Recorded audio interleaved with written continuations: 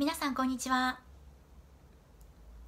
大人の簡単ビューティーレッスンのみゆきです。今回のテーマは秋の肌ケア前半と後半に分けてご紹介したいと思います。現在2018年8月中旬ですが毎年暑い暑いと言いながらそれでも今年はですね非常に厳しい暑さを感じている方が多いと思います。アックウェザーというサイトにですね、えこのような、えグラフが載っていたんですけれどもこちらが、え東京の気温2018年7月ですね。こちらのこの2本のラインがいわゆる平均気温と言われるものなんですけれども、えー、最高気温そして最低気温ともにこの平均と言われるものから非常に、えー、高い状態が続いていますこちらのグラフは気象庁サイトに記載されている7月と8月の平均最高気温と平均最低気温をグラフにしてみましたが、えー、最高気温そして最低気温がじわじわと上がってきているんですね。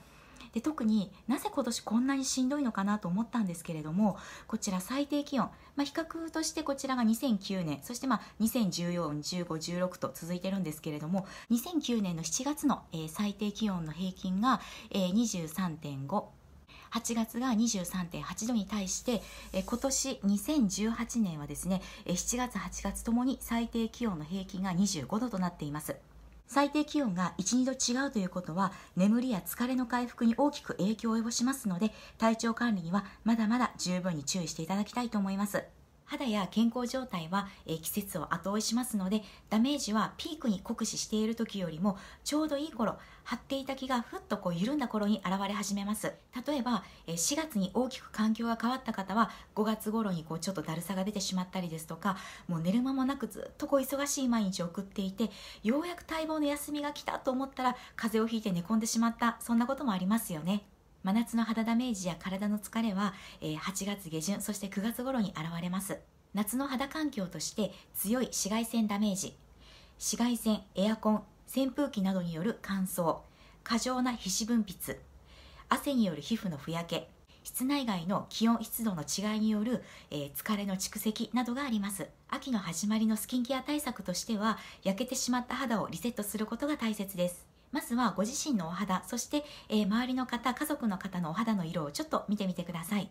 ここ数年はいい化粧品も多く日焼け止めを使ってらっしゃる方が非常に増えています。その他ファンデーションで肌をしっかりと守ったり美白美容液でケアをしている方も多いです。しかしえ顔の肌の色と、え首の肌の色がくっきりと、え分かれている方も多く見られます。顔の肌の色と、え首の肌の色が、え違ってしまう理由としては一年中同じファンデーションの色を塗っており、えー、肌は焼けてしまっているのにワントーン明るいファンデーションのまま、えー、塗っていて、えー、白浮きしてしまっている。顔の肌は日焼け止めを塗ったり美白美容液をつけたりしてしっかりとケアをすることで美白肌を保っているんですけれども首や耳デコルテこういった部分はケアをしていないことによってこちらの部分が焼けてしまってくっきりと色が分かれている。そのような理由が挙げられます。今現在の肌色を見ていただいて顔と首の色がちょっと違うな焼けてしまったなと感じた方は来年こそはですね焼けないようにぜひ気をつけていただきたいと思います。後半は焼けてしまったお肌のケアについてご紹介をいたします。